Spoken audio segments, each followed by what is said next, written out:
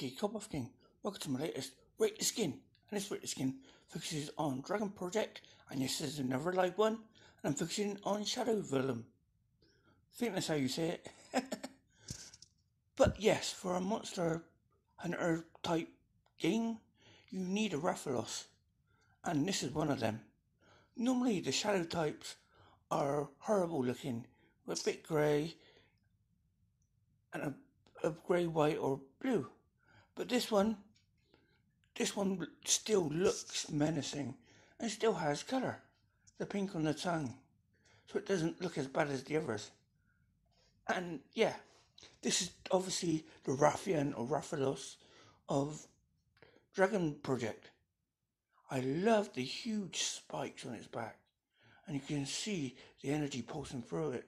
Not pulsing, but cracking through it at the spine of the creature.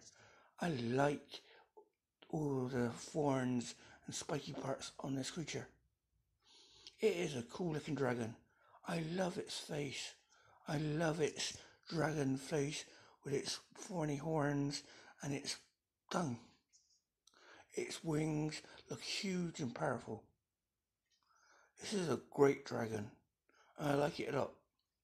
Of course, I'm giving this one since it's a basic dragon, it's done really well, but it is a basic dragon, a nine and a half. If you agree or disagree, let me know in the comments.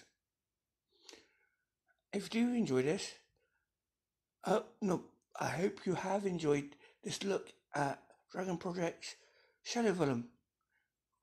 If you have, then please like, comment, and subscribe.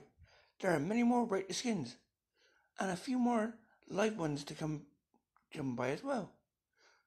So with that being said, I'll see you in the next video guys. Bye for now.